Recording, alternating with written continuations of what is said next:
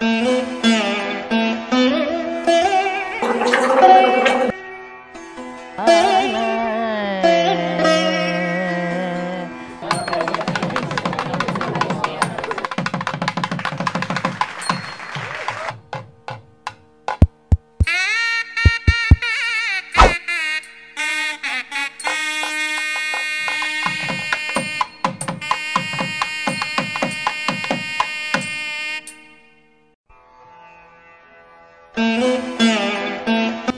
Happy thing for me is the saris that I wear for my performances because I think the whole process when I start dressing up, I do my hair and I start wearing my sari and I start deciding what sari to wear.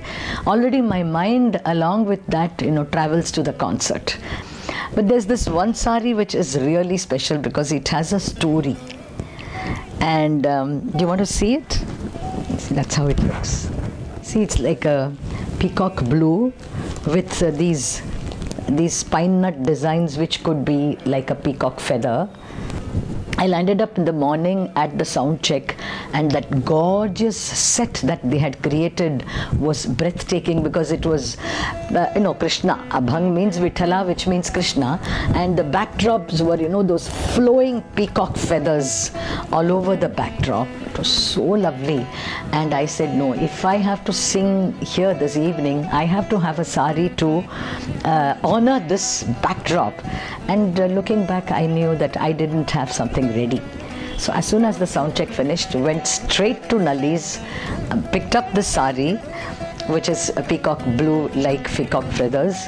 And then one of my friends was so sweet. By the time I came home, had lunch and rested, she got the fall done, got the blouse done, everything, and it was ready for me to wear at four. And when I actually wore it in the concert, you know, people still talk to me about that concert. They say the music was gorgeous, but the way the whole thing looked was breathtaking. So it's very special memories.